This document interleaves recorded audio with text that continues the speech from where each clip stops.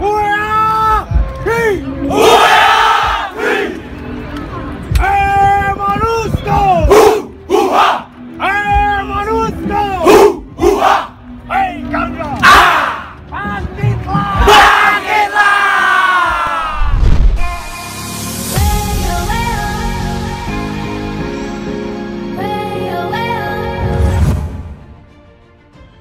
Panglima TNI berangkatkan 850 pasukan perdamaian ke Afrika Tengah.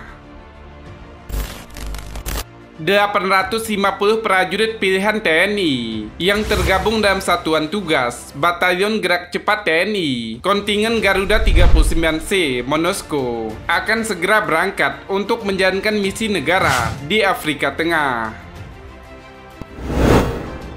850 prajurit kontingen Garuda TNI ini akan bertugas bersama pasukan perdamaian PBB selama beberapa bulan ke depan. Panglima TNI Marskal Hadi Cahyanto sangat meyakini bahwa 850 prajurit TNI sangat siap untuk mengemban tugas besar negara di Afrika Tengah.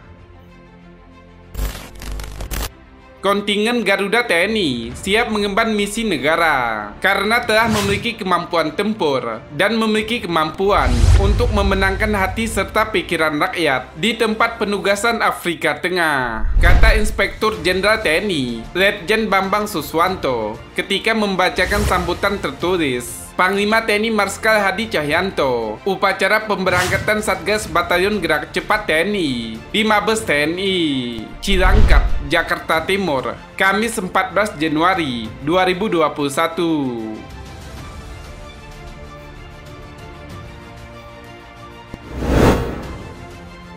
Panglima TNI menyampaikan, dengan prinsip to win heart and mind, misi PBB akan berjalan dengan baik dan lancar karena prajurit Indonesia dapat diterima masyarakat setempat. Lebih lanjut, Panglima TNI menekankan agar seluruh prajurit TNI yang bertugas di Afrika Tengah dapat melaksanakan tugas dengan penuh tanggung jawab, semangat, dan dedikasi dengan tetap memperhatikan faktor keamanan dan siap kesiagaan terhadap setiap perkembangan situasi di wilayah bertugas.